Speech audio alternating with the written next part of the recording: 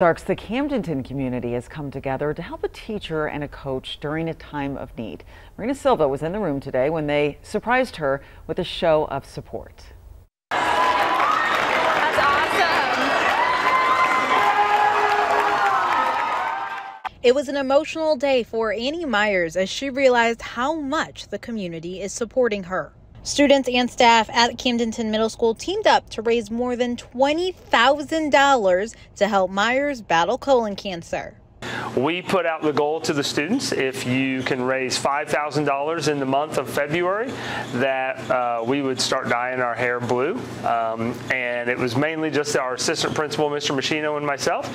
And they have far exceeded that amount of money. And a deal is a deal, so blue hair it is. But what was even more awesome is that our staff decided that they were going to jump in and be a part of it as well. And so these two gentlemen are part of about 16, 18 other staff members that are they're dyeing their hair blue today.